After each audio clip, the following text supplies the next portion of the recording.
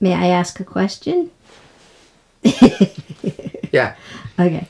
Well, um, if um, uh, the idea behind uh, Buddhism is the uh, uh, is liberation from from this and to um, uh, the awareness of, of, of nothing and and uh, everythingness. And correct me if I'm getting it completely wrong because I could be.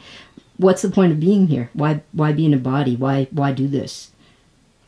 Well, in the first place, you're much happier if you're a little bit um, less caught up in it.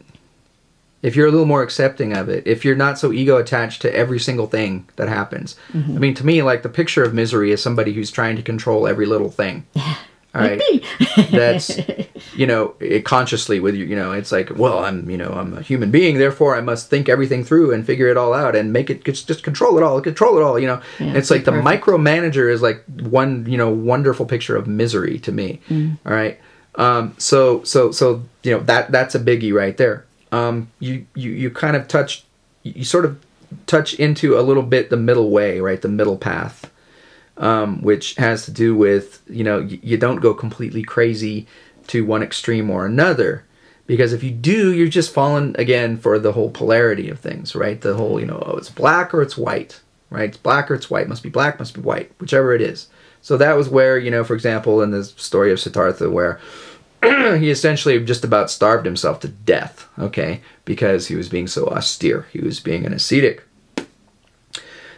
and in being an ascetic, he did not become enlightened in that process, and he ultimately said, "No, I think I can handle a little rice. You know, I think I, I think I can do this, keep my body going, and still, you know, do my practice." All right. Now, so let's look at two different uh, examples because it's so easy to make examples with polarities. Um, if it's all about nothingness, then why yada yada whatever. Well, one person might say, well, it's not really all about nothingness; it's about transcending, and the transcending is the great somethingness. All right, that you're going to go towards. I'm going to, you know, forget this. I hate this place. This earth. Oh, yuck! It's so beneath me. You know, how could I possibly be here? Must have been a mistake. You know, and I must transcend it all. And um, you know, again, that's that's a bit of a trap. That's a bit of a polarity trap. Um, and then let's take it to another extreme. Let's say you become completely uh, materialistic and you could become completely caught up in the sensual pleasure of the place and, and that's possible and so on. You know, or like if you follow uh, the the Secret, right? The movie The Secret, and I, I really thought that Bart Simpson said it best when he said, uh, you know, master the ancient power of wanting things. you know. Um, so let's let's look at that. Let's look at the earthly example. You say, screw all this transcending stuff. You know, I'm I'm here. I'm in a body. I'm I'm gonna enjoy this. You know, and stuff. Okay, so you become a, uh total you know narcissist. Basically, it's like if you want to take that out to an extreme, it means you're to be all into your own sensual pleasure. You're to be all into your own material gain. You're to be all into um, I don't know. Um, that pretty much says it, I guess. You know, riches, whatever, whatever material things that you can accumulate or material pleasures that you can accumulate. Oh, well, let's say power. Okay, too. Of course, power is going to be something that you're going to want. Um, you know, basically put, if you take that out to an extreme, you're going to be one evil bastard. Okay, you're not going to care about anybody else. You know, you're only going to be out for your own gain, um, and it, it's going to be, it's going to look pretty ugly you know? And the other thing uh reason this comes up in buddhism is because nobody can sustain that you know? It's like sooner or later you're gonna fall you know? You're gonna get old you're gonna die. It's all gonna be gone right? It's impermanent. Um honestly if you look into western religion too this whole balance this sort of dichotomy between earthly things and transcendence is is always there. There there's always like there's a lot of interplay there's a lot of balance there's a lot of uh, where should your attention really be? You know, it's it's it's honestly hard to find a religion that's not kind of transcendent on its uh, on balance. It's going to be more towards transcendence than it is on earthliness.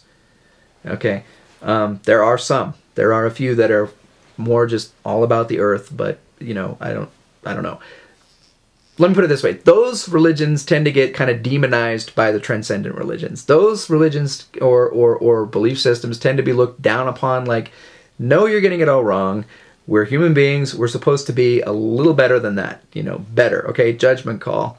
But it's it's about transcending. It's about being above just the animal urges, the animal stuff. Um, I don't know. Did I lose my place? It's like we're talking about polarities, and we're talking about what's the trap. Cheryl asked, "What if it's nothingness? What's the point?" Yeah, why are we here?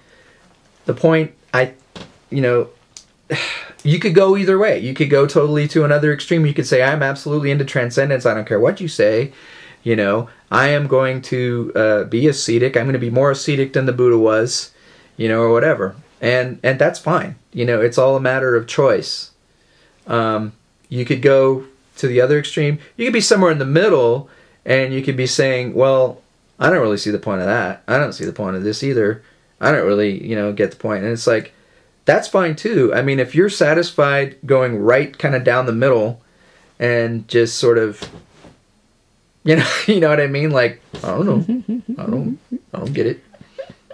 I don't know. I want a hot dog. Can I have a hot dog? Okay. Well, you shouldn't eat hot dogs because hot dogs are bad. And like, you know, you're right. So I'm only gonna eat half a hot dog. you know what I mean? It's like I don't know what the point is exactly, except that people tend to want a point to something. So I might as well have asked you, what's the meaning of life? Well, you did that once. I know. and then turned a video camera on me, and I'm like, to be. You know what I mean? It's like, to have fun. is. is You what you know, I said. mean, existence is the meaning of life, right? To be. Mm-hmm. You know? So ultimately, if you want to take to that question, otherwise, anything else, you know, you, ask somebody that question, they're going to have to give you a judgment. Mm-hmm. One way or the other. And then they're going to have to justify that judgment. And then you're going to have to accept their philosophical treatise that their judgment is correct.